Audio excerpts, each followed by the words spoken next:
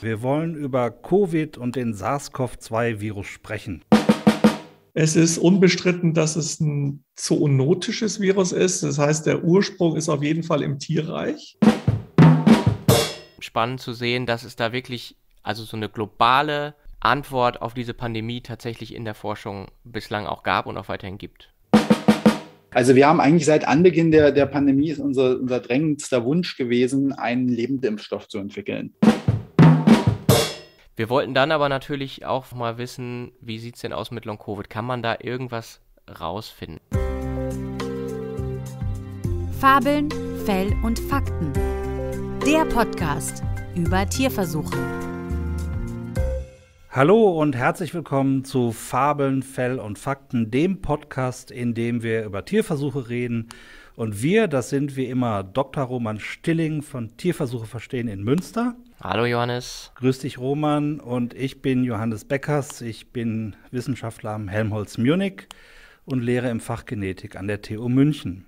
Roman, wir haben heute mal ein ganz aktuelles wissenschaftliches Thema. Wir wollen über Covid und den SARS-CoV-2-Virus sprechen. Genau, wir beschäftigen uns heute mit Corona und wir haben auch noch eine andere Premiere, nämlich haben wir zum ersten Mal Gäste dabei, beziehungsweise wir haben die Gäste jetzt nicht hier live äh, bei uns dabei, sondern wir haben in Vorbereitung auf diese Sendung uns mit zwei Experten unterhalten, ja. die ähm, Virologen sind, aber es sind nicht Virologen, die ihr da draußen wahrscheinlich schon kennt, sondern es gibt noch viel, viel mehr Virologen als die, die immer in den Fernseh-Talkshows auftreten. Genau, wir haben ein paar ganz tolle Wissenschaftler, äh, die, mit denen wir sprechen konnten. Und ähm, ich glaube, wir haben viel gelernt, Roman, oder? Ja, genau. Wir waren tatsächlich, äh, hatten wir uns für diese Folge ja ein bisschen was äh, überlegt, ne? worüber wollen wir sprechen. Wir wollten eigentlich eine Folge machen, die sich rein auf Long-Covid oder Post-Covid, wie auch manche sagen, bezieht. Aber wir haben dann festgestellt in der Vorbereitung und in den, in den Expertengesprächen, das Thema ist so viel breiter. Ne? Genau. Also wir haben echt beide obwohl wir ja beide in der Biologie äh, drinstecken und auch mit äh, Corona-Berichterstattung auch ein bisschen was zu tun haben, echt nochmal wirklich was gelernt, ne? Genau, ja, also ich meine, uns war natürlich bekannt, dass der Virus äh, höchstwahrscheinlich äh, aus äh, Fledermäusen gekommen ist, über einen Zwischenwirt auf den Menschen übergegangen ist. Aber das nennt man ja Zoonosen, ja, also dass äh, ein Virus sich mehrere äh, unterschiedliche Spezies als Wirt teilen kann. Das bezeichnet man als Zoonose. Das, dieser Bereich Zoonosen, der ist aber viel größer, als ich bislang gedacht hatte. Und äh, zu dem Thema haben wir ja mit dem Professor Martin Bär gesprochen. Der ist Virologe und der ist Leiter der Virusdiagnostik am Friedrich-Löffler-Institut. Genau, und das ist vielleicht nochmal ganz, ganz interessant zu wissen, dieses Friedrich-Löffler-Institut, das ist äh, tatsächlich also ganz spannend, weil das liegt auf einer kleinen Insel in der Ostsee. Ach, und das liegt auch ganz bewusst da, weil das ist eins der Institute in Deutschland, die mit den wirklich krassesten und gefährlichsten Erregern der Welt arbeiten. Und wenn da mal was passiert, also Stichwort äh, Lab-Leak-Hypothese, ja, also wenn da mal was entfleucht aus diesen Laboren äh, in diesem Institut, dann ist es gut, wenn das nicht unbedingt mitten in der Großstadt passiert, sondern äh, auf einer Insel äh, bleibt. Und die äh, ja, hat relativ harte Zugangsbeschränkungen, diese Insel. Die erste ist die Insel Riems in der Ostsee. Und ja, da arbeitet äh, Professor Martin Bär in dem Friedrich-Löffler-Institut. Genau, und von dem wollten wir erstmal wissen, was ist überhaupt der Zusammenhang zwischen dem Coronavirus und dem Tierreich. Ich meine, es handelt sich bei SARS-CoV-2, also der Auslöser der Pandemie, um ein neues Virus. Es ist unbestritten, dass es ein zoonotisches Virus ist. Das heißt, der Ursprung ist auf jeden Fall im Tierreich, sodass sich damit aber auch automatisch Fragen ergeben, die rein auf der Tierseite liegen. Also was sind mögliche Reservare? Wo kommt es eigentlich her? Und äh, gibt es vielleicht Intermediärwirte? Das ist so ein Feld, mit dem wir uns beschäftigt haben und auch viele andere Gruppen. Dann die Frage, können sich neue Reservare bilden? Sind unsere landwirtschaftlichen Nutztiere betroffen? Und das ist natürlich eine zentrale Frage äh, für uns als äh, nachgeordnete Behörde des Landwirtschaftsministeriums, dass man natürlich sagt, okay, die ist in unserer Priorität sehr weit oben. Äh, können Schweine infiziert werden, Hühner, Rinder? Ist das etwas, was eine Situation ergeben könnte, wie wir sie bei Influenza sehen. dass wir im Schwein ein Reservoir haben, das auch immer wieder neue Pandemien vielleicht sogar bedient. Also entsteht sowas. Und die dritte äh, große Gruppe ist dann äh, das Tiermodell. Also welche Untersuchungen zur Pathogenese, äh, Immunprophylaxe, Therapie kann ich im Tier vorab machen, äh, bevor das zum Beispiel dann in die Humananwendung geht. Also ganz klassisch äh, Impfstoffprüfung, äh, aber auch Verständnis, wie die Viren replizieren, äh, wie sie sich ausbreiten, Transmissionsmodelle. Das, da ist das äh, Tier einfach nach wie vor das äh, Mittel der Wahl, auch wenn wir alle natürlich danach streben, die Tierversuche so gering wie möglich zu halten. Für bestimmte Fragestellungen brauche ich den Gesamtorganismus. Mhm. Herr Bär, aber wie ist denn das? Können wir da schon was sagen? Gibt es denn äh, Tiere, die natürlich mit dem humanen SARS-CoV-2-Virus infiziert werden können? Wenn wir uns die Liste der bisher gesammelten Tierinfektionen, und das wird international vom Welttiergesundheitsamt koordiniert, also der UIE in Paris, da sind wir im Moment bei etwa 600 gemeldeten Fällen. Und das sind in erster Linie Hund und Katze. Das wusste man sehr früh, dass besonders Katzen, aber auch Hunde infizierbar sind, werden in der Regel nicht schwer krank und es ist eine äh, in der Regel echte Anthropozoonose. Das heißt, der Mensch infiziert sein Haustier. Mhm. Und kann das Haustier dann auch wieder andere Menschen infizieren? Ist das denkbar? Bisher gab es da keine Hinweise, dass das in irgendeiner Form eine Rolle gespielt hätte. Äh, es gibt diesen Sonderfall der infizierten Goldhamster, da kommen wir vielleicht noch drauf, äh, wo es eine Infektion gab. Und neben den Haustieren Hund und Katze haben die Nerze eine gewisse Rolle gespielt. Die sind hervorragend infizierbar und die werden als Pelztiere äh, in verschiedensten Ländern in großen Pelztierfarben gehalten. Und da konnte sich das Virus ausbreiten, Dänemark, Holland. Da ist dann auch mit drakonischen Maßnahmen dagegen vorgegangen worden. Und die genetische Analyse dieser Viren hat zumindest in Einzelfällen auch dann echte zoonotische Übertragungen, also vom Tier auf den Menschen gezeigt.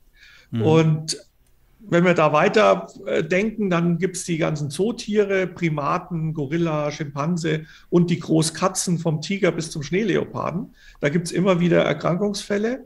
Die spielen aber für die Pandemie jetzt keine Rolle. Da sind die Tiere auch nur Opfer. Und das erste tatsächliche Wildtierreservoir, das offensichtlich entstanden ist, ist in Nordamerika in den Weißwedelhirschen.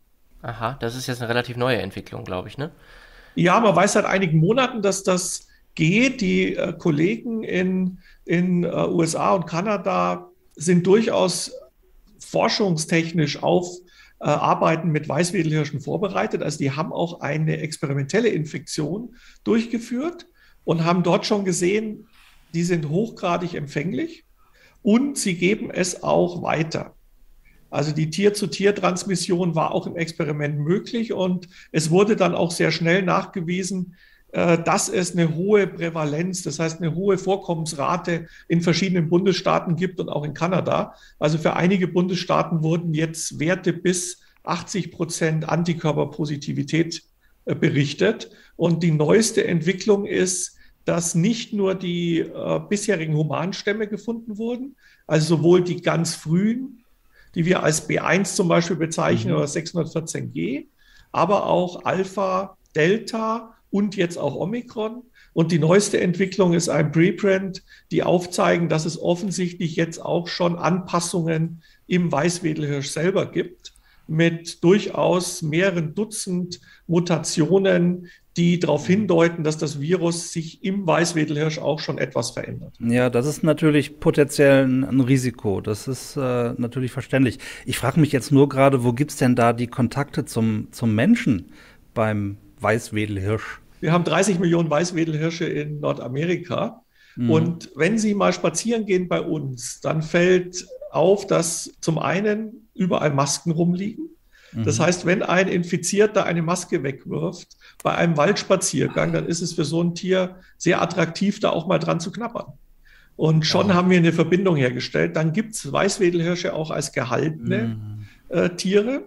Das heißt, da habe ich den direkten Menschenkontakt, weil die füttern die, äh, die müssen die auch behandeln vielleicht mal. Also wir haben genug Kontakte, äh, die das ermöglichen. Und es reicht ja bei einem Virus, was für die Tiere äh, sehr gut empfänglich ist und sehr gut weitergegeben wird, dass nur äh, einige Male dieser Übergang passiert und dann breitet sich in der Population aus. Von der mhm. Genetik her sieht so aus, als wenn das äh, durchaus öfter passiert wäre, weil die Stämme unterschiedlich sind. Das heißt, man hat da jetzt ein tatsächliches Reservoir und es könnte sozusagen immer wieder zu einer zoonotischen Ansteckung in beide Richtungen kommen? Also es gibt den auch ersten Hinweis jetzt mit diesem neuen Stamm, dass das eventuell, da muss man immer noch ein Fragezeichen machen, auch zurückgesprungen ist vom Weißwedelhirsch auf den Menschen. Äh, das ist sicher nicht der Regelfall und äh, das ist ähnlich wie bei den Nerzen. Auch dort haben wir ja eine Entwicklung gehabt, dass das Virus schon begonnen hat, sich an den Nerz weiter anzupassen. Also obwohl die hochempfänglich sind, kann natürlich Rezeptor und andere Faktoren äh, Auslöser sein, dass das Virus weiter mutiert. Wenn es sich mehr an das Tier anpasst, wird der Weg zurück in den Menschen natürlich nicht so einfach. Und wenn es dann auch mhm. keine besonderen Escape-Varianten gibt, und die Hinweise gibt es bisher nicht, äh, dann ist es nicht gefährlicher als das, was jetzt im Moment äh, in erster Linie zwischen Mensch zu Mensch passiert.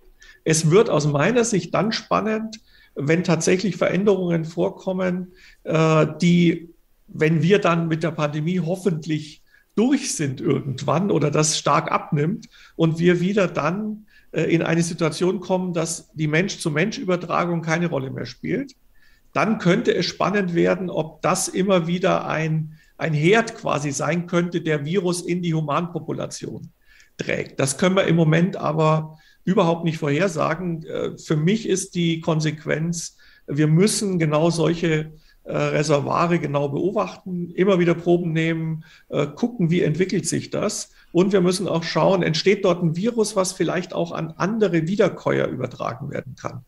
Also das wäre auch noch so ein Risiko. Ist das Virus jetzt Wiederkäuer adaptierter? Und das, was bisher kaum möglich war, die Infektion des Rindes zum Beispiel oder von Ziege und Schaf, wird mit den Viren plötzlich äh, möglich sein. Also das ist eine ganz interessante mhm. Frage, weil natürlich haben die auch Kontakt zu freilaufenden Rindern, Ziegen, Schafen. Und dieser Übergang, der ist etwas, was mich persönlich ganz stark interessiert, weil bisher ist das, äh, woweit wir es für Deutschland sagen können, eben nicht passiert. Im Rind sehen wir nur einzelne Spillover-Infektionen, also nur als einzelne vom Menschen auf das Rind. Das sind ganz wenige bei den 1000 Proben, die wir jetzt untersucht haben. Und wir haben auch in Deutschland nicht die gleiche Situation äh, wie in Nordamerika. Wir haben mehr als 600 Proben von Rothirschen, äh, Dammwild, Rehwild. Rehwild wäre das nächste Verwandte zum Weißwedelhirsch bei uns.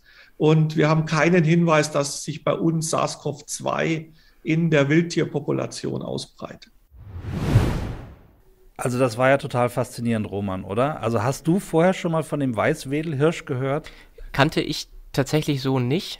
Wild, Whitetail Deer heißt es, glaube ich, in, ah, im, im, amerikanischen. Okay.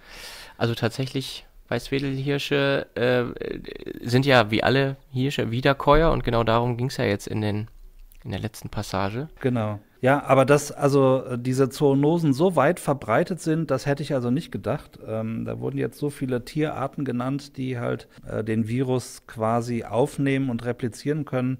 Äh, das, das war mir gar nicht so, so bewusst. Also das war schon mal so das erste Learning aus diesem Interview. Und dann ging es ja weiter, Roman. Da wollten wir ja von dem Herrn Bär wissen, also wenn es denn so viele äh, Spezies gibt, die halt natürlich äh, mit SARS-CoV-2 infiziert werden können, brauchen wir dann überhaupt noch äh, Tiermodelle, die, die wir im Labor quasi herstellen. Genau, äh, bislang ging es ja jetzt dem Gespräch erstmal so um dieses Zoonosenthema, ne? Und, und äh, Infektion vom Tier auf den Menschen und andersrum und warum ist das eigentlich wichtig und wie untersucht man sowas, ne? Auch dafür, die, diese Infektionsversuche, das sind ja Tierversuche, klar, ne? Also zum Teil hat er ja erklärt, werden die Tiere ja auch krank. Und jetzt ist aber trotzdem die Frage, also wenn ich jetzt diese Krankheit untersuchen will, es gibt ja auch andere Möglichkeiten, Forschung, biomedizinische Forschung sozusagen mit Tieren äh, zu betreiben in dieser, in dieser Frage. Und da haben wir ihn dann gefragt, brauchen wir denn überhaupt noch irgendwelche anderen Tiermodelle dann? Oder haben wir eigentlich alles schon? Genau, hören wir da jetzt mal rein. Also es gibt eine ganz klare Notwendigkeit, weil äh, bis auf die Nordamerikaner kann mit Weißwedelhirschen keiner arbeiten. Und das ist auch eine sehr anspruchsvolle Arbeit. Und auch mit Nerzen, wir haben selber einen Versuch mit Nerzen gemacht, das ist gut, aber es ist trotzdem nicht so wie im Maus- oder Hamstermodell. Und da muss ich auch mhm. die Maus nochmal einfach rausgreifen, wenn man dort Grundlagenforschung betreiben will. Da muss ich natürlich auch äh, Werkzeuge besitzen. Und mhm. um Immunologie zu betreiben, ist die Maus einfach ein Paradebeispiel. Da habe ich alle T-Zell-Marker etc. Weder für den mhm. Weißwedelhirsch noch für den Nerz und auch nicht fürs Frettchen gibt es diese äh, mhm. Tools, nenne ich es jetzt mal. Ja. Äh, und deswegen braucht man natürlich auch etablierte Modelle und muss sehen, in welchen Modellen will ich was beantworten. Also von mhm. daher gesehen ist es wichtig, verschiedene Modelle zu besitzen, weil wir lernen jetzt auch mit den Variants of Concern, dass mhm. Alpha, Beta, Delta, Omikron sich auch im Tiermodell unterschiedlich verhalten. Okay. Was braucht man denn dann für so ein Tiermodell? Also, soweit ich das verstanden habe, geht ja dieser äh, SARS-CoV-2-Virus, der geht ja über einen bestimmten Rezeptor, vor allen Dingen über die Atemwege dann quasi in den Körper rein. Das ist ja dieser ACE2-Rezeptor. Gibt es den bei der Maus auch oder muss man den humanisieren oder wie macht man das? Also die Maus hat auch einen ACE2-Rezeptor, auch der Nerz, das Frettchen, der Goldhamster. Alle diese Modelle, sie sind aber unterschiedlich in ihrer Rezeptorfunktion für SARS-CoV-2. Also der Goldhamster funktioniert bisher für alle Varianten. Das Frettchen, da können wir sagen, bis Delta geht das auch gut. Allerdings nicht in der Lunge, sondern nur im oberen Respirationstrakt, während der Hamster, der Goldhamster tatsächlich ein Modell ist, wo auch die Lunge betroffen ist. Mit den allerersten Virusvarianten, also Wuhan, das Original Wildtyp-Virus, das ging in der normalen Labormaus nicht oder nur sehr, sehr schlecht. Und deswegen hat man ein Mausmodell, das schon aus SARS-1 bekannt war, äh, mhm, bemüht. Ja. Das ist über äh, eine ja, transgene Maus, das heißt, es wird zusätzlich zu dem Mausrezeptor, wird mhm. der humane ACE2 eingebaut in das Genom mhm. und es wird über einen Promotor diese Expression in nicht nur Atemwegen ermöglicht, sondern überall. Und das führt dazu, dass dieses Modell die Virusreplikation stark befördert, auch in Organen, wo es sonst gar nicht vorkommt, zum Beispiel im Gehirn oder mhm. nur sehr okay. wenig vorkommt. Und das, deswegen ist dieses Modell auch durchaus artifiziell, weil die Mäuse müssen euthanasiert werden, in der Regel, weil das Virus im Gehirn Schaden anrichtet. Und so an Tag sechs bis sieben der Infektion müssen wir die Tiere in der Regel töten. Das gilt bis Delta. Ab Omikron sieht es jetzt schon so aus, dass selbst die humanisierte ACE2-Maus, also die K18 ist die am häufigsten verwendete, dass die nicht mehr so krank wird.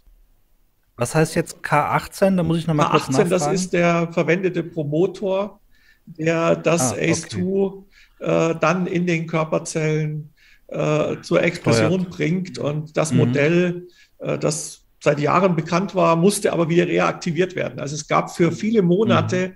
diese Maus gar nicht, sondern die mussten erst wieder gezüchtet werden. Und jetzt kann man die kommerziell erwerben.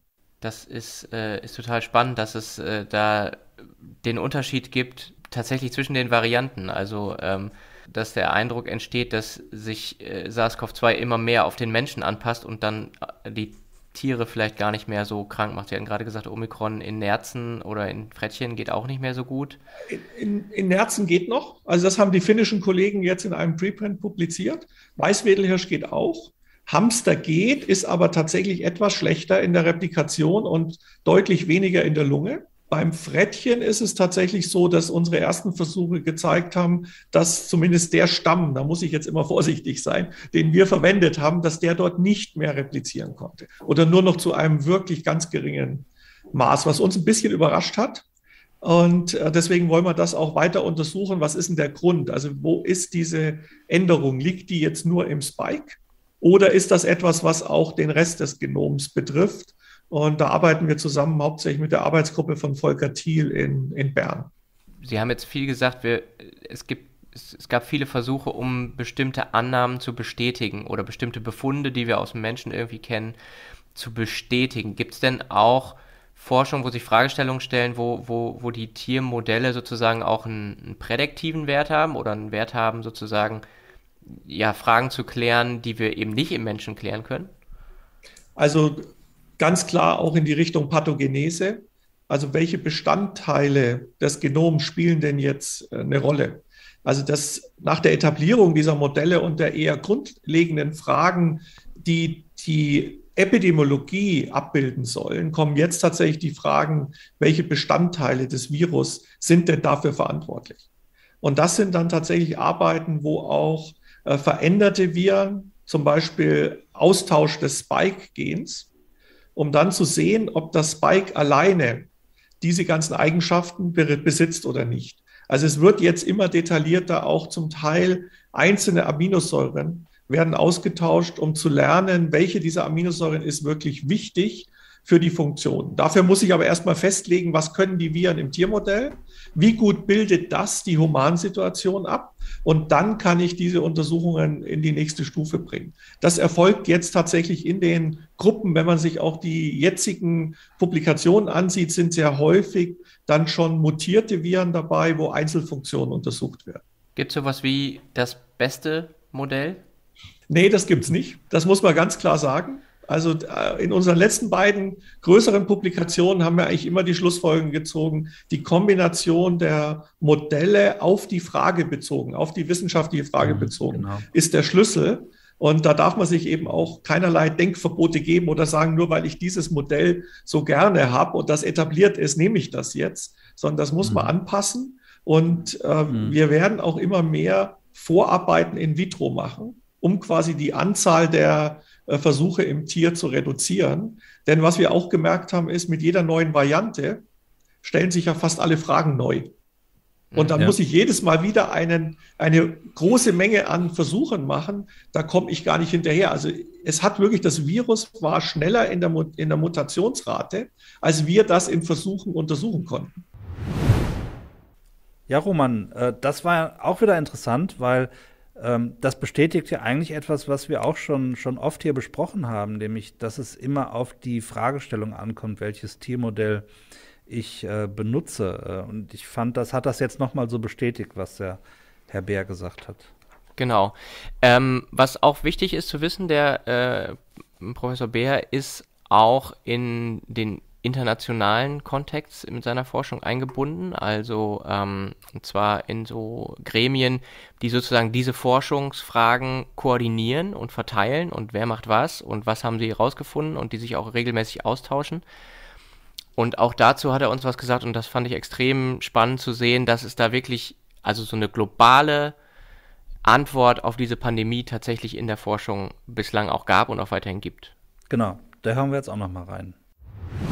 Gibt es da irgendwelche Bestrebungen, dass man das äh, koordiniert, ähm, dass nicht halt sozusagen jetzt in äh, Hongkong und in Korea und in Amerika und hier bei uns in Europa immer wieder die gleichen Versuche gemacht werden? Also das sind ganz klar äh, Dinge, die man auch abstimmen sollte. Und da muss man die WHO einfach sehr loben, dass sie diese Animal Group ins Leben gerufen hat. Das heißt, äh, auch heute werden wir uns wieder treffen, sind drei Vorträge geplant. Donnerstag, anderthalb Stunden sitzen etwa 100, 120 Wissenschaftler weltweit in einem Zoom-Meeting und stellen immer die allerneuesten Ergebnisse vor, in der Regel sogar vor dem Preprint. Also wir haben alle eine Geheimhaltung unterschrieben, dass wir mhm. das nicht äh, verwenden, äh, veröffentlichen, bevor die Kollegen das ihre eigenen Arbeiten präsentieren natürlich. Aber dadurch ist ein unheimlich freier Austausch entstanden, ein richtig globaler Austausch. Und äh, wenn das Mäusearbeiten angeht oder Hamster, dann sind das natürlich deutlich mehr Gruppen. Wenn das in Richtung Frettchen, äh, Primatenforschung etc. geht, dann sind das tatsächlich weniger als zehn Gruppen. Das heißt, da wird der Austausch dann noch intensiver.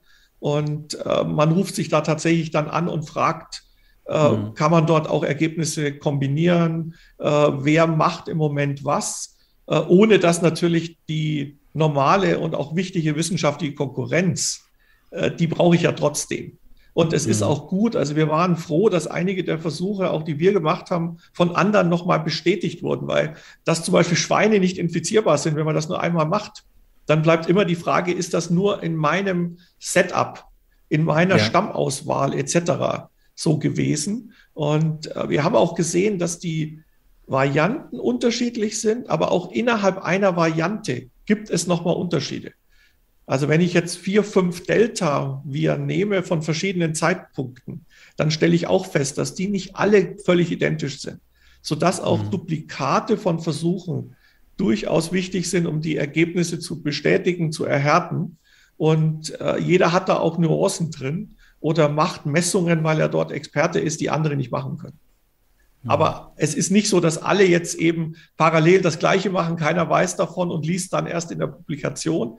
Das ist tatsächlich diesmal ziemlich gut gewesen mit der generellen Kommunikation. Ist ja fast so wie im Film. Also Reaktionen auf, äh, ein, auf eine Pandemie, irgendwie globale Efforts irgendwie. Ja, ich, ich finde es ein bisschen schade, dass das auch, auch der Wert der, der Tiermodelle und diese Studien, dass das ein bisschen untergegangen ist. Weil wir haben ja immer gesprochen, beim Sequenzieren waren die äh, Engländer sehr weit vorne und äh, also immer diese, es fehlen Daten.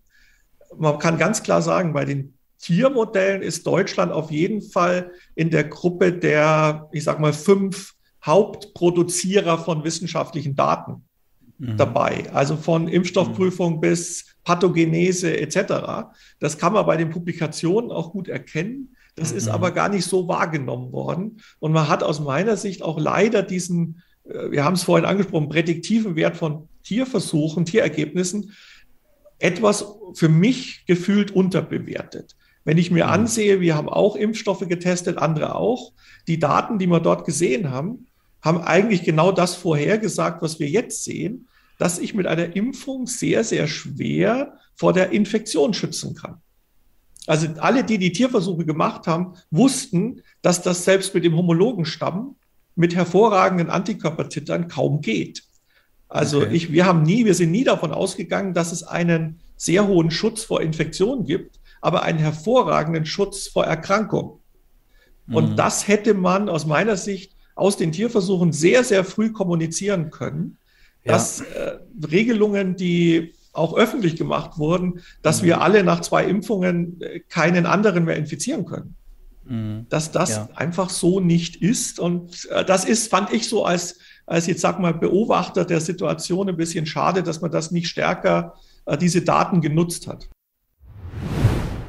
Ja, also das fand ich jetzt auch wieder vorbildlich, dass man sieht, ähm, wie da international zusammengearbeitet wird und dass das eben vor allen Dingen dann gut funktioniert, wenn man sich auf eine Geheimhaltung einigt, weil das eben ermöglicht, wirklich frei zu reden. Äh, fand ich ganz interessant. Genau, und was ich auch äh, interessant fand, was, was er sagte, dass äh, Deutschland bei diesen Sachen durchaus eine tragende und wichtige Rolle gespielt hat, mhm. führende Rolle.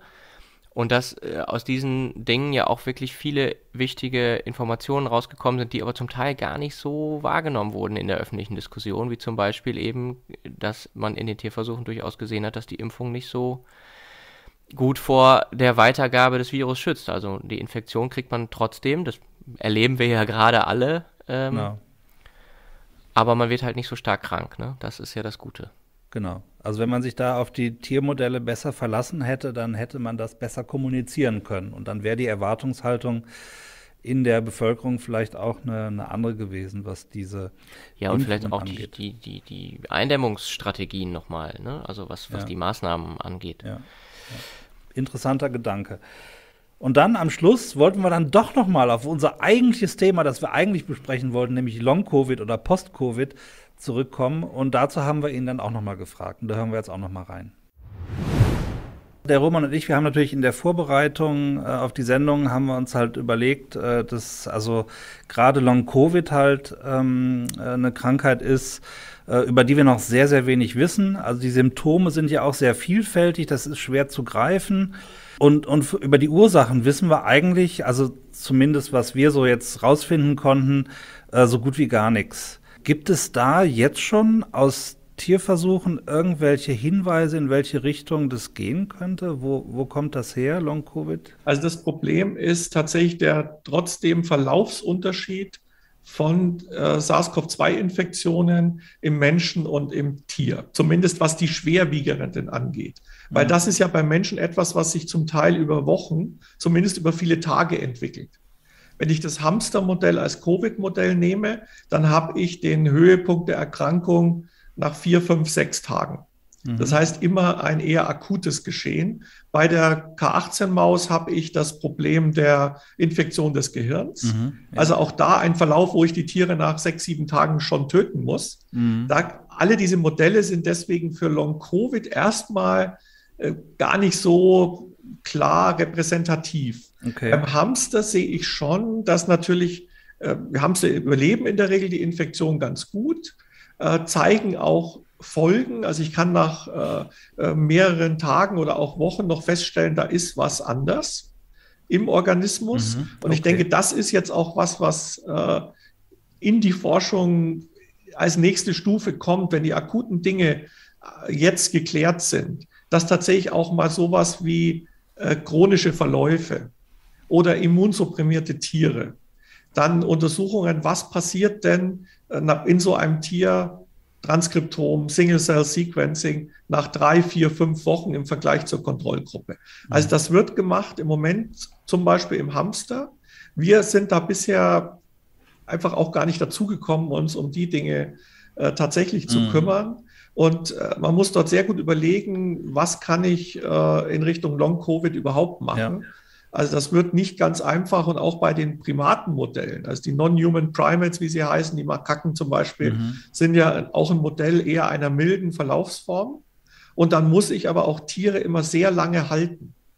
Ja. Und ich muss die ja im S3-Bereich infizieren, also mhm. also unter sehr hoher Sicherheitsstufe und ich kriege die da auch nicht mehr raus. Mhm. Ah, okay. Ja. Ja, das heißt, wenn ich dort etwas untersuchen will, was Monate dauert, mhm. blockiere ich einen Hochsicherheitsbereich ja. für Monate. Ohne dass mit den Tieren erstmal groß was passiert, weil ich muss ja warten. Ja. Und dann immer wieder Tiere rausnehmen. Deswegen wird das sicher länger dauern, bis da äh, größere Studienergebnisse kommen, weil das nur wenige Gruppen, denke ich, äh, so angehen werden, dass die Tiere mhm. über Wochen oder Monate beobachten können das kommt und es geht auch los, äh, dass ja. eben so erste Hamster-Daten äh, kommen, die sagen, das könnte ein Faktor für Long-Covid sein. Aber was mir da noch wichtig ist, man muss auch, denke ich, sehr gut definieren, was ist Long-Covid. Ja, also soweit die Einschätzung von ähm, Professor Martin Bär vom Friedrich-Löffler-Institut auf der Insel Riems. Wir haben äh, dann noch ein bisschen weiter mit ihm gesprochen, weil er eben halt so wirklich mit so vielen verschiedenen Tieren gearbeitet hat und echt mhm. wirklich tief in der Materie drinsteckt, ähm, habe ich mir das nicht nehmen lassen, ihn auch mhm. zu fragen, was äh, er denn denkt, woher das Virus denn jetzt wirklich ja. kommt, weil das ja, ja, irgendwie auch noch so eine Frage, die immer wieder heiß diskutiert wird äh, auf der ganzen Welt. Und er hat dann gesagt, also er wisst es natürlich auch nicht und äh, das Problem ist tatsächlich auch, dass aus China äh, da wirklich keine Daten zu kommen und man könnte das äh, wahrscheinlich rausfinden. Bei SARS-1 hätte man es damals ja gut rausfinden können, ja. dass es eben diese Marderhunde wohl waren, die da äh, den, das Virus vom, von der Fledermaus auf ähm, den Marderhund und dann zum Menschen weitergegeben haben. Mhm. Hier wisse man das jetzt nicht so genau, aber seine, seine persönliche Prioritätenliste würde auch angeführt von dem Pelztierhandel in China, der ähm, extrem groß ist. Also er sprach mhm. da wirklich von zig Millionen Tieren, Wahnsinn, Marderhunde, ja. Nerze, Polarfüchse, all das wird da in, in China gehalten und eben auch in Regionen, wo eben Fledermäuse vorkommen, die mit solchen Coronaviren ja. äh, infiziert sind.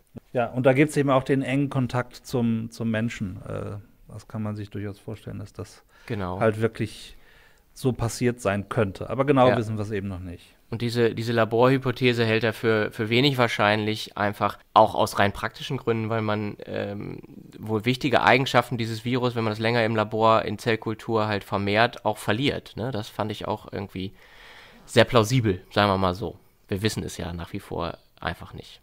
So, und dann haben wir uns aber noch einen zweiten Experten rangeholt, den Dr. Jakob Trimpert. Der ist an der Freien Universität Berlin äh, im Institut für Virologie. Ist Tierarzt von der Ausbildung her, ist aber zoologisch sehr interessiert, wie er uns auch äh, mitteilte.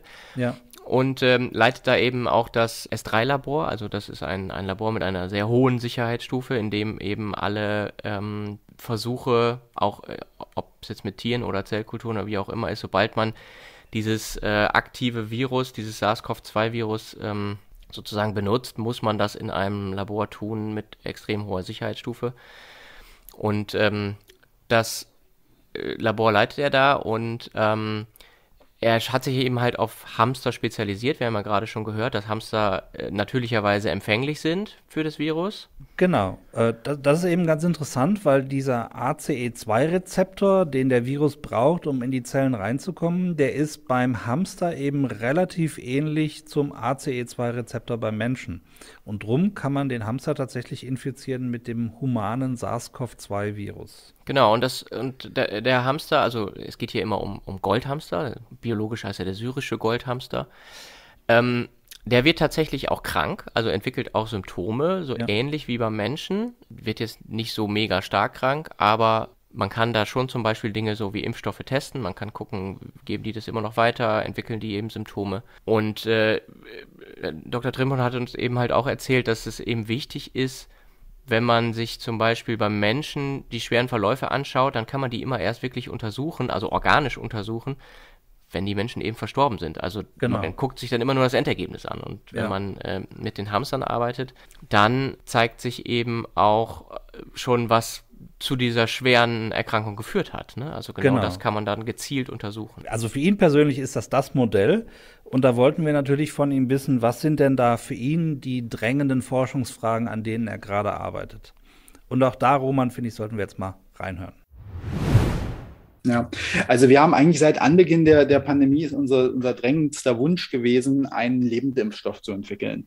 Und äh, das ist nach wie vor eine hochaktuelle und, und ich finde sehr, sehr wichtige und gut in die Zeit passende Frage. Denn wir haben ja nun äh, mit der Geschichte der verfügbaren Impfstoffe einen großen Erfolg erlebt, durchaus. Ich denke, das kann man, muss man so sagen.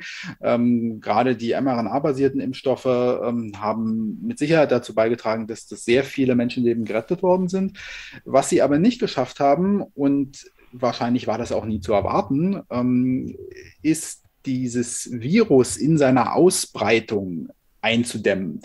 Und diese Tatsache ist äh, sozusagen verstärkt bewusst geworden, als diese Entwicklung der Varianten begann mhm. ähm, und als diese Varianten dann auch noch begannen, einen ganz, ähm, ja, ganz deutlichen Trend in Richtung einer Immunevasion zu zeigen, also dem Immunsystem zu entkommen. Mhm. Ähm, da ähm, wurde es also spätestens sehr problematisch äh, für, für diese Impfstoffe. Ähm, die Impfstoffe, die derzeit verfügbar sind, setzen jedenfalls die in ähm, in, in, Westeuropa verfügbar sind, setzen in der Regel darauf, dass das Spike-Protein ähm, genommen wird. Das Spike-Protein ist also das wesentlichste Oberflächenprotein ähm, des, ähm, des SARS-CoV-2-Virus. Und das wird dort eingesetzt, äh, ist allerdings sehr anfällig dafür, sich zu verändern genetisch. Und äh, unser Ansatz ist da also schon von Anfang an gewesen, dass man eventuell versuchen könnte, mit einem abgeschwächten, lebenden SARS-CoV-2-Virus eine andere, möglicherweise bessere Immunreaktionen zu erzeugen, als mit Impfstoffen, die eben nur auf einem ganz, ja. auf einem kleinen Stück des Virus. Also, nur, dass ich das richtig verstehe, das wäre dann also ein Impfstoff, der tatsächlich aus einem Virus besteht, der sich auch selber repliziert. Also der ja. geht richtig in die Zellen rein, der macht eine richtige Infektion. Genau so ist das, ja. So wie man das zum Beispiel beim oralen Polio-Impfstoff kennt, ne? oder wie das früher war beim, beim Pockenimpfstoff. Ne? Es gibt also ja. in der Historie der Virologie ist ja, ist ja der Lebendimpfstoff, äh, der abgeschwächte sozusagen das, also damit ging es los, ne? Also als damals ähm, die, die Vakzinierung von AstraZeneca erfunden wurde, war das natürlich ein Lebendimpfstoff. Ähm, als Louis Pasteur ähm, erkannt hat, dass man, wenn man ähm, Tollwutviren in, in, in Kaninchen, glaube ich, waren es, äh, passagiert, ähm, die, nachdem man die eine Weile in Kaninchen hatte, dann eben Hunde nicht mehr krank machen. Das waren lebende Impfstoffe. Ne? Und mhm. dieses sehr alte Konzept ähm, hat nach wie vor seinen Reiz, weil man ja. es eben hier mit einem Impfvirus zu tun hat, das auf nahezu perfekte Weise ähm, das eigentliche Virus ähm, widerspiegelt. Ne? Mhm. Also da ist sozusagen das gesamte antigenetische Repertoire, alle Proteine, die da drin sein müssen, ja. sind da drin. Und, und das ist, glaube ich, bei SARS-CoV-2 besonders entscheidend, man kann das sozusagen via Naturales auf dem Weg der eigentlichen Infektion geben.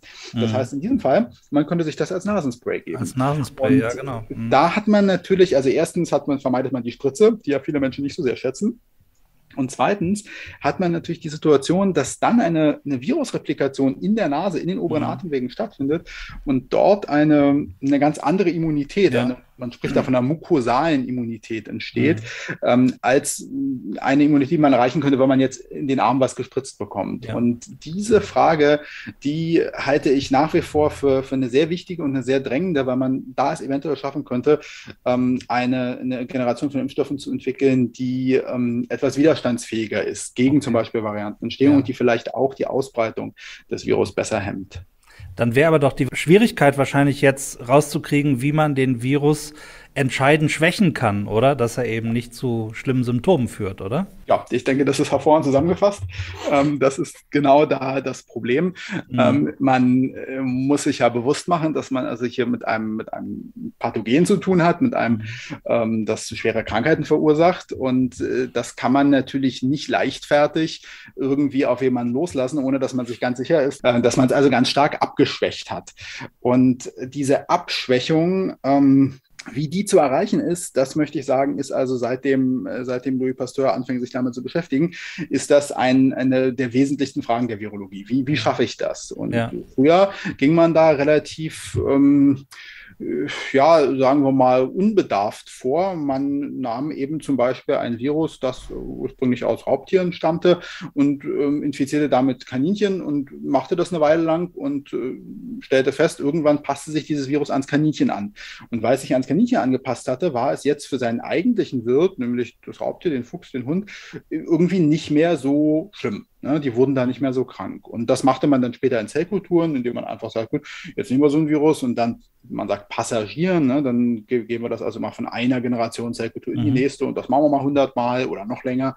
Tja, und irgendwann konnte das Virus hervorragend in Zellkultur wachsen. Wenn man ja. es dann aber wieder dem Patienten, dem Wirt, wem auch immer gab, dann ähm, wuchs es eben nicht mehr so hervorragend ah, okay. und war irgendwie geschwächt, weil es sich okay. genetisch verändert hatte. Okay. Heutzutage ist man etwas weiter. Man kann ja gezielt genetische Veränderungen herbeiführen mhm. ähm, in Viren und anderen Organismen. Ja.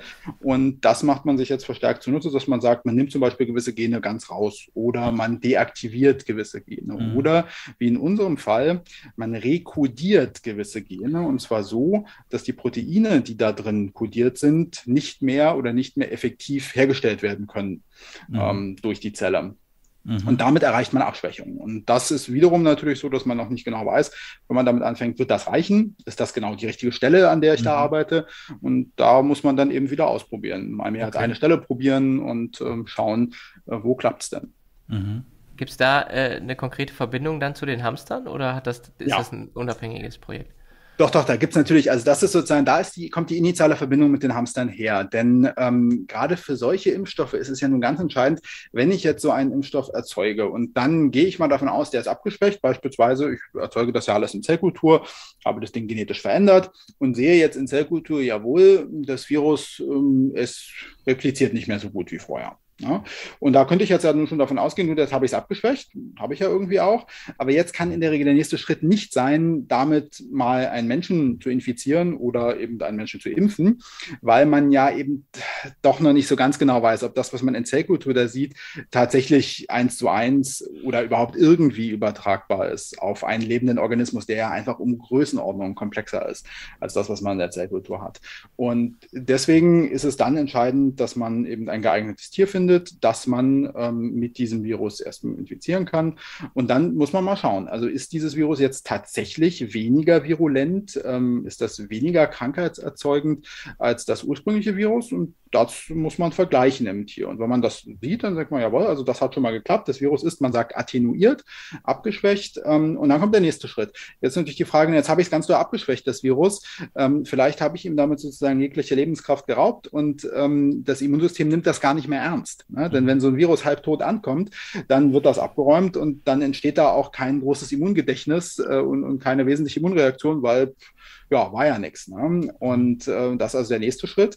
Ist denn das Virus ähm, noch replikationsfähig genug, um überhaupt einen Impfschutz zu hinterlassen? Und auch diese Frage lässt sich letztendlich ähm, nur im Tiermodell beantworten. Denn das kann man in Zellkultur nun mal nicht sehen. Ne? Also selbst wenn man sagt, man kann ja da gewisse ähm, äh, Faktoren der, der, der, des Immunsystems durchaus, gerade der angeborenen Immunität messen in Zellkultur, das machen wir natürlich auch. Aber jetzt bestimmen, reagieren wirklich T-Zellen und bleiben die da? Werden Antikörper gebildet? Und wenn ja, wie viele und wie spezifisch? Und wie lange sind die da noch vorhanden? Und all diese Fragen, die lassen sich natürlich dann letztendlich nur im, im Tiermodell beantworten. Und da kommt unsere Verbindung zu den Hamstern dann auch her. Ja. Aber das ist interessant, das ist ja im Prinzip so eine Art künstliche Evolution, die man so macht im, im Labor. Ne? Also immer wieder Veränderungen einführt und schaut, habe ich äh, eine Veränderung, äh, die in die Richtung geht, die ich haben will. Also einerseits eine Abschwächung des Virus, aber andererseits soll er sich ja noch vermehren, um eine gute Immunreaktion auszulösen. Äh, ja. ja, genau. Also das könnte man, das könnte man durchaus so sagen. Also gerade diese, diese eigentlich eher ursprünglichen ähm, äh, Ansätze, solche Viren zu attenuieren, nämlich einfach in, in fremden Wirtszellen oder, oder fremden Wirtsorganismen zu passagieren und das eine Weile zu machen, das ist eigentlich, also das ist eins zu eins Evolution, mhm. ne, die man dann im, im Labor da betreibt, indem man einfach den Selektionsdruck ändert, weil man, weil man ein ganz anderen Wirtssystem zur Verfügung stellt dargestellt. Mhm. Und das Virus muss sich dann da anpassen. Ne? Und dann ja. muss es mal gucken, was es macht. Und dann ähm, äh, macht man sich diese, diese neu entstandenen Anpassungen zunutze, weil im ursprünglichen Wirt ähm, die, die eigentlich sehr gute Anpassung an diesen Wirt dadurch verloren gegangen ist. Ne? Ja. Das, was wir machen, ist jetzt sozusagen etwas mehr zielgerichtet. Also etwas mehr kreativ, wenn das das richtige Wort ist. Intelligent ähm, Design. Genau, wir versuchen uns also ähm, unser Wissen über das Virus zunutze zu machen, mhm. indem wir zum Beispiel wissen, na gut, also dieses Protein, das das Virus hat, das brauchst gar nicht unbedingt. Mhm. Ne? Ja. Ähm, da kann man sich dann fragen, na gut, ähm, wenn es das gar nicht unbedingt braucht, ist das vielleicht auch gar kein, kein so geeigneter ähm, Angriffspunkt, um, um mhm. da was zu ändern.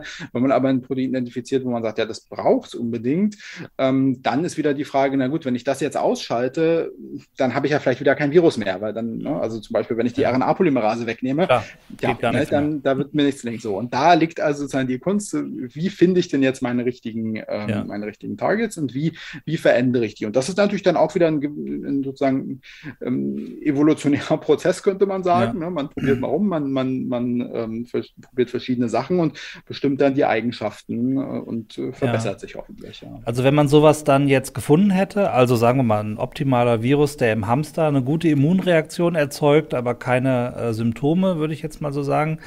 Ähm, was wäre denn dann der nächste Schritt? Wird man dann in äh, versuchen, in humane Zellkultur zu gehen oder was macht man dann mhm. als nächstes? Das macht man schon, schon parallel. Also grundsätzlich ist ja der Aufbau, jedenfalls so wie wir das machen, ist immer alles, was wir irgendwie in Zellkultur machen können, Tierzellkultur, Humanzellkultur, mhm. bis hin zu Organoiden ähm, und, und auch primären Zellkulturen, ähm, die äh, also beispielsweise aus, aus verstorbenen Patienten entnommen wurden und solche Sachen, ähm, ja. die, die schalten wir den Tierversuchen eigentlich vor, okay. um mhm. überhaupt mal zu gucken, also lohnt sich das denn? Denn wenn ich jetzt ja. was habe, wo ich sage, na gut, in, in, meinen, in meinen Hamsterzellen, da ist das zwar sehr attenuiert, wenn ich damit aber in, in beispielsweise humane Lungenzellen gehe, äh, dann ist dieser Effekt vollkommen verschwunden. Dann muss ich mich natürlich fragen, lohnt sich es da überhaupt irgendwie weiterzumachen? Mhm. Ja, und, ja. und diese, diese Fragen, die, die sind sozusagen geklärt in der Regel, bis es zum Tier kommt. Und wir gehen also mit den Kandidaten, wo wir sagen, okay, äh, in verschiedenen humanen Zellmodellen sehen wir also schon unsere, unsere gewünschten Effekte.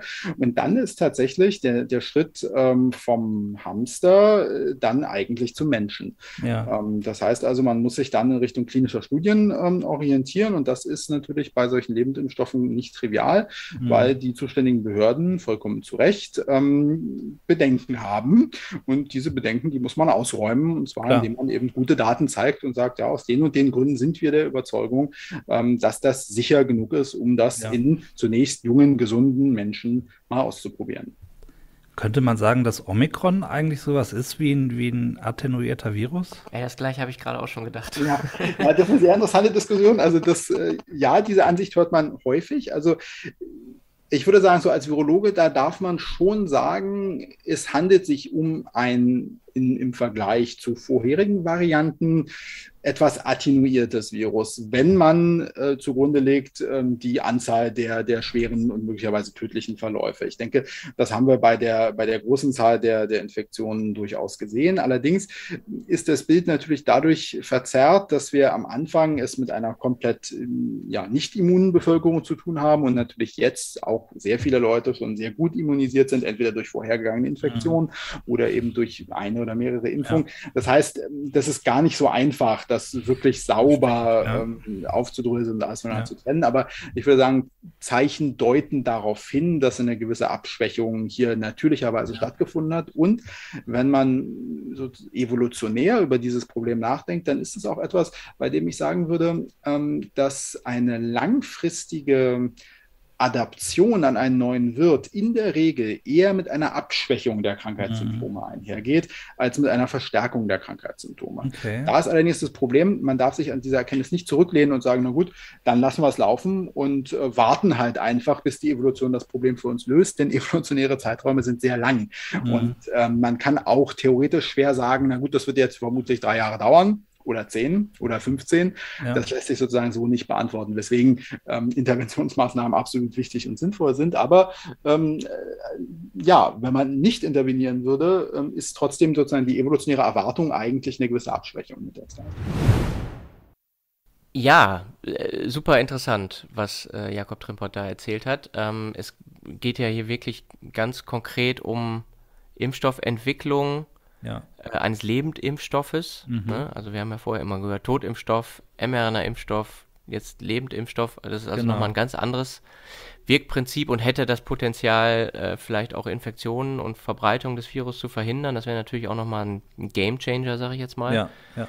ja, vor allen Dingen, wir wissen ja noch gar nicht, was kommen denn noch für Varianten rausgekrochen, äh, die möglicherweise äh, ganz andere Anforderungen an uns haben. Also ich glaube, wir sollten jetzt nicht aufhören, an Impfstoffen für Covid zu forschen. Genau, das Virus ist gekommen, um zu bleiben. Das äh, haben wir jetzt ja, glaube ich, alle irgendwie akzeptiert. Und äh, Professor Bär war ja auch so ein bisschen besorgt, dass wenn wir jetzt sozusagen mit der Pandemie durch sind, also alle mal irgendwie einen gewissen Immunschutz aufgebaut haben, mhm. dass dann natürlich in diesen tierischen Reservoiren vielleicht auch wieder neue abgewandelte Erreger entstehen können, die dann vielleicht doch nochmal zu, zu schwereren Erkrankungen führen. Genau. Und ähm, ja, also das ist, ist sicherlich äh, gut, dass man da am Ball bleibt. Wir ja. wollten dann aber natürlich auch von äh, Herrn Trimpert nochmal wissen, wie sieht es denn aus mit Long-Covid? Kann man da irgendwas rausfinden? Also Long-Covid zeichnet sich ja auch dadurch aus, dass es nicht so klar definiert ist. Äh, wie gesagt, manche sagen Post-Covid. Das wird als Syndrom bezeichnet. Also viele verschiedene Symptome äh, gibt es da. Aber allen gemeinsam ist ja einfach, dass halt Ne? Die eigentliche Erkrankung ist vorbei, das Virus ist weg, aber die Symptome zum Teil halt eben noch nicht. Also von Erschöpfung über längeren Geruchssinnverlust und so weiter. Genau. Und da hören wir nochmal rein, was er sagt, wie man da vorgehen könnte jetzt in der Forschung. Ja, wie sieht es denn aus, was Long-Covid angeht? Ähm, also ich meine, äh, ich denke, das wird was sein, was uns möglicherweise noch einige Jahre beschäftigt, Long-Covid. Ähm, es ist ja noch nicht so genau wirklich definiert, was wirklich Long-Covid ist. Ähm, wir kennen so ein paar äh, Symptome, die auftreten. Äh, 10 bis 30 Prozent sind betroffen. Ähm, es sind sowohl schwere Fälle als auch leichte Fälle, die äh, Post-Covid kriegen. Die Frage ist jetzt, also wie können uns da Tiermodelle helfen, ähm, das zu verstehen, was da passiert? Mhm. Ja, ja, das ist keine, keine triviale Frage. Ähm, und ähm, Sie, Sie haben das schon, schon sehr gut zusammengefasst. Also das Problem ist ja, geht ja damit los, dass man also in der, in der Humanmedizin ähm, das erste Problem hat, eben nicht jeder bekommt es. Und die, die es bekommen, bekommen das in sehr unterschiedlichen Ausprägungen. Das heißt ja. also, möglicherweise haben wir es hier nicht mit einem einzelnen Mechanismus zu tun, der eben bei all diesen Menschen gleichartig zutrifft, sondern möglicherweise sind es hier verschiedene Sachen, ähm, die hier zum Tragen kommen. Ähm, das ist schon mal schwierig. Ähm, und äh, dann, dann ist es eben natürlich auch ähm, im Tier so, dass man, dass man erstmal Anhaltspunkte braucht, wonach suche ich denn jetzt hier überhaupt? Ne? Also die, die, der Idealfall ist, man hat also aus der Humanmedizin irgendwie Anhaltspunkte und sagt, na gut, wir haben es beispielsweise bei, bei Patienten, die mit, äh, mit diesen Post-Covid-Symptomatiken stark belastet sind, vielleicht eben mit, mit, Degradationen von Neuronen zu tun, das, was wir irgendwie messen können oder, mhm. oder verlängertes Vorhandensein von gewissen Entzündungsparametern ähm, äh, bei diesen Menschen, möglicherweise sogar auch im Blut dieser Menschen mhm. oder wo auch immer man es eben gut messen kann. Und anhand dieser äh, Informationen sollte man dann versuchen, sich in Richtung des geeigneten Tiermodells zu hangeln und zu gucken, finde ich denn ein Tier, bei dem ähnliche Sachen auftreten? Und da wiederum kommt der Hamster, glaube ich, wahrscheinlich recht prominent wieder ins Spiel. Denn ähm, es gibt tatsächlich also Anhaltspunkte, dass bei, bei Hamstern gewisse Post-Covid-Symptomatiken nicht unähnlich zu Menschen zu beobachten sind. Da gibt es eine Forschungsgruppe in, in New York, ähm, vor allen Dingen um den ähm, Virologen Benjamin Tenöver, ähm, die ähm, schon länger auch an dieser Frage arbeiten. Da habe ich gerade äh, gerade kürzlich ein Interview von ihm, glaube ich, im Scientific American ähm, gelesen, in dem er sagt, dass sie genau das haben. Sie haben sozusagen so eine Post-Covid-Hamster-Kohorte, die sie selektiert haben, aufgrund von, von Parametern, die vor allen Dingen ähm, die Inflammation von Neuronen betreffen. Okay. Und zwar ist der, der Hintergrund das folgender. Durch diese nasale Infektion kommt es eben natürlich zum Zelluntergang in der Nase und, und äh, da gehen viele Zellen kaputt. Da gehen eventuell auch Neuronen kaputt, aber gar nicht unbedingt primär durch, durch Virusinfektion Infektion, sondern dadurch, dass eben so unglaublich viel Entzündung da einfach da ist. Mhm. Und die Neuronen, die eigentlich ganz andere Aufgaben haben, stellen also um auf ein, auf ein hochentzündliches Programm und, und verlieren dabei ihr eigen, ihre eigentlichen Aufgaben aus dem Auge. Mhm. Okay. Und das scheint ähm, persistent zu sein bei einigen Menschen oder jedenfalls in, gewisser, in gewissem Ausmaß zu persistieren. Mhm. Und genau das kann man eben zum Beispiel ähm, bei Hamstern, auch nicht bei allen Hamstern, die, die eben diese Infektion durchgemacht haben, aber bei einigen ähm, beobachten. Und das ist äh, meiner Ansicht nach zum Beispiel ein sehr relevanter und interessanter Ansatz, den es sich zu verfolgen lohnt und bei dem eben zum Beispiel der Hamster als Tiermodell ähm, wahrscheinlich gute Dienste wird leisten können. Mhm. Ja, das ist super interessant. Würden Sie denn sagen, der Hamster ist irgendwie, also scheint sich ja tatsächlich so ein bisschen rauszustellen als so das Modell oder als, als ein besonders gutes äh, Modell oder ist es auch so ein bisschen, ich sage jetzt mal ganz provokant, äh, wenn man einen Hammer hat, sieht alles wie ein Nagel aus? ja, ähm, also ich glaube, man, man, sollte, man sollte vorsichtig sein, damit zu sagen, man hat sozusagen das universelle äh, Modell hier in der Hand und, und die, die universelle Waffe, um, um eben allen Fragen begegnen zu können. Das, äh, glaube ich, würde doch hier zu weit führen. Äh, ich glaube, es ist in solchen Fragen, gerade in so komplexen komplexen Fragen wie, wie, wie bei SARS-CoV-2 wichtig, mehr als eine Option zu haben, falls nämlich das, was man eigentlich vorhatte, sich eben nicht abbilden lässt. Ähm, und dann müsste, sollte man die Option also sagen, gut, vielleicht haben wir aber doch noch eine andere Möglichkeit. Vielleicht haben wir eben statt des Goldhamsters noch einen anderen Hamster bei dem mhm. man mal gucken könnte. Oder wir haben eben doch eine transgene Maus, weil ja. vielleicht irgendwie, die Maus ist ja deswegen von Vorteil, weil man eben wahnsinnig viel, im Grunde alles, was man bei Menschen irgendwie machen, messen, tun kann, kann man der Maus auch machen. Hamster sind vergleichsweise exotisch. Ne? Also sie können natürlich verschiedene Sachen, die der Maus selbstverständlich sind, können sie bei Hamster nicht machen, weil, weil dafür die molekularen Werkzeuge nicht existieren und auch nicht so schnell zu machen sind. Ne? Das mhm. sind, also, sind, also, viele komplexe Probleme. Deswegen ähm, würde ich nicht sagen, dass sozusagen der, der Hamster das Universalmodell ist. Ich glaube, andere Modelle haben ihre Berechtigung und sind für einzelne Fragestellungen wichtig und, äh, und bedeutsam und werden es, glaube ich, auch bleiben.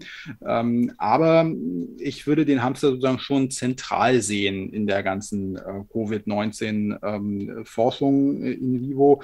Und das, das, diese Meinung teilen auch viele Kollegen, auch in, in Review-Prozessen, wissenschaftlichen Arbeiten, ist man häufig damit konfrontiert, dass das eben ähm, gefordert wird, ähm, dass in Hamstern gearbeitet wird. Auch von Zulassungsbehörden zum Beispiel sagen, dass mit den Mäusen, mit den Transgenen ist alles schön und gut. Ähm, aber die Frage, ob das relevant ist oder nicht, die können wir jetzt anhand der Daten so noch nicht beantworten. Nehmen wir doch vielleicht lieber einen Hamster. Und ich glaube, das zieht sich so ein bisschen durch, dass man sagt, für viele Fragestellungen ist der Hamster ähm, dann eben doch ähm, der, der, der Goldstandard. Das passt zum Goldhamster, könnte man sagen. Ja, also wir sehen Long-Covid ist nicht nur schwer zu diagnostizieren, zu beschreiben, zu greifen in irgendeiner Form wissenschaftlich, sondern es ist auch schwer zu beforschen, ähm, aus verschiedenen Gründen. Eben zum einen, weil die, die Forschung mit den Tieren dann halt äh, in den Laboren stattfinden, was, was, was halt den, den Platz in diesen engen Hochsicherheitslaboren belegt. Ähm, aber es wird auch dran gearbeitet. Natürlich dauern auch Prozesse, die lange anhalten, biologisch gesehen, äh, auch länger, um sie zu erforschen. Das ist ja irgendwie auch selbstverständlich, ne? Genau, also ich glaube, man muss da erstmal äh, wirklich herausfinden, was wirklich jetzt die häufigsten Symptome sind von, äh, von Long-Covid, um dann wirklich zu sehen, worauf spezialisiert man sich und, und was will man als erstes verstehen. Also man kann nicht anfangen, gleich alles versuchen zu verstehen. Ich glaube, das wird nicht funktionieren. Ähm, insofern ist da auch wichtig, dass dann da irgendwann die wirklich die besten Modelle dafür da sein werden, um eben spezifische ähm, äh, Symptome oder Veränderungen von Long-Covid genau zu studieren und die Mechanismen dahinter. Ne? Wer, genau. wer einen ähm, Eindruck davon bekommen will, was Long-Covid bedeuten kann, ähm, der kann sich ein Video anschauen, das wir bei Tierversuch Verstehen gemacht haben mit einer Patientin, die selber auch Ärztin ist und ähm, aus diesem Hintergrund heraus auch eine Selbsthilfegruppe gegründet hat, äh, um ja mit anderen Betroffenen sozusagen ins Gespräch zu kommen und sich gegenseitig zu unterstützen. Und das, äh, diesen sehr persönlichen, sehr eindrücklichen Film, wie ich finde, äh, kann man auf unserer Webseite sehen. Ja, super Hinweis. Ja, und dann haben wir die beiden am Ende unseres Gesprächs nochmal gefragt, ob sie auch noch eine eigene äh, Botschaft haben, also nicht nur unsere Fragen beantworten, sondern auch was, was ihnen noch aufm, auf der Seele brennt, sozusagen. Und ähm, der Martin Bär hatte wirklich eine ganz eindrückliche und sehr prägnante Botschaft. Genau, die hören wir jetzt kurz an. Ja, einen Punkt, den ich immer noch sage, ist, dass das Impfen nicht nur einen selber schützt, sondern tatsächlich natürlich zur reduzierten Ausscheidung führen kann. Auch wenn die Infektion, wie wir vorher besprochen haben, im oberen Respirationstrakt schwer zu blocken ist, aber es reduziert und damit reduziert es auch den, äh, die Ausscheidung an Haustiere. Also Impfung schützt nicht nur mich, sondern Impfung schützt auch äh, Verbreitung in andere mögliche Reservare. Also alles spricht für die Impfung. Ja, also ich denke, dem ist nichts mehr hinzuzufügen. Das ist klar. Jakob Trimpert, mit dem haben wir am Ende nochmal kurz ein bisschen über das Thema Tierversuche gesprochen. Das war ihm offensichtlich eine Herzensangelegenheit, da ähm, nochmal zu sagen, warum er sich auch ähm, ja, unseren Fragen so gestellt hat. Und, ähm, genau, und da hören wir jetzt auch nochmal kurz rein gerade im Hinblick auf, auf die Frage, warum machen wir Tierversuche, ich glaube, das ist sehr wichtig, dass, äh, dass man das so kommuniziert, dass wir diese Tierversuche nicht machen ähm, für, für Sachen, die uns einfach nur ganz doll interessieren, die aber vielleicht irrelevant sind und, und die man auch einfach lassen könnte. Ähm, ich glaube, gerade im, im Hinblick zu, von, wenn man über Tierversuche redet, äh, sollte klar sein, dass, dass solche Versuche dann gemacht werden und eben dann auch gemacht werden müssen, wenn es darum geht, große Probleme zu bewältigen äh, und äh, Strategien zu entwickeln, wie man eben zum Beispiel aus dieser Pandemie herauskommt. Ja, wunderbar. Ich glaube, damit haben wir den Deckel drauf, Roman.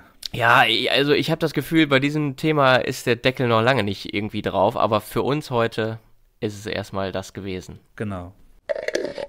Deckel drauf. Was haben wir denn jetzt gelernt, Roman? Also ich kann für mich auf jeden Fall sagen, also diese Breite, ja, also an Zoonosen und dass äh, SARS-CoV-2 nicht nur ein Thema für den Menschen ist, sondern tatsächlich für einen großen Teil oder für einen gewissen Teil des Tierreiches, das war für mich heute total interessant und zu sehen, dass man jetzt auch neue Impfstoffe entwickelt, dass der Hamster dabei so eine große Rolle spielt.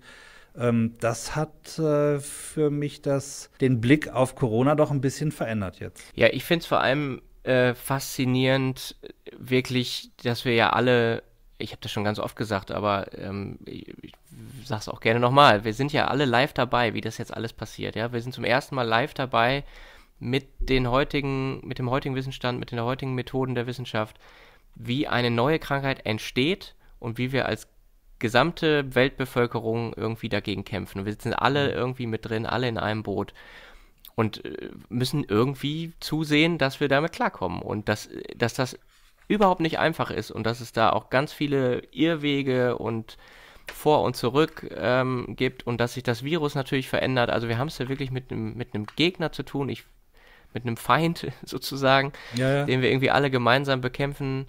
Und da wirklich äh, zu sehen, wie facettenreich das alles ist, das, das äh, hat mich auch wirklich nochmal so ein bisschen überrascht, muss ich sagen. Ja, und natürlich, ich finde es auch toll, dass es so tolle Menschen gibt wie äh, den Martin Bär und den Jakob Trimpert, ähm, die dann mit uns äh, ganz offen reden und ähm, äh, über ihre Forschung hier berichten, fand ich total spannend und Ja, äh, wirklich auch nette großes- Leute. Ne? Großes, großes Lob, dass sie sich auch die Zeit genommen haben, weil die beiden äh, haben wirklich in den letzten zwei Jahren wenig, wenig Freizeit gehabt, sondern Ja. die haben wirklich Ja. hardcore im Labor gestanden, ja. Okay, Roman, das war's für heute. Wir wissen noch gar nicht, was das nächste Thema sein wird. Da denken wir jetzt als nächstes drüber nach. Ähm, Genau. Roman, vielen Dank für heute und äh, an unsere Zuhörer. Tschüss, bis zum nächsten Mal. Genau, danke bis zum Durchhalten bis hierhin. Heute etwas länger. Auf Wiederhören, bis zum nächsten Mal.